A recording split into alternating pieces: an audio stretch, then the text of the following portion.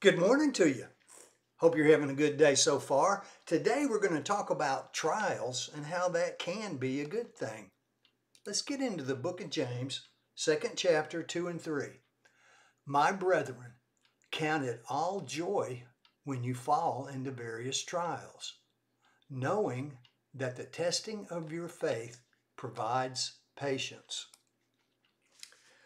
Well, trials and outward circumstances, conflicts, sufferings, or troubles are encountered by all believers.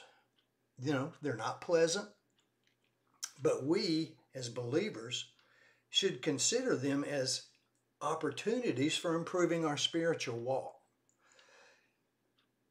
God uses troubles and difficulties as a tool which refines and purifies our faith.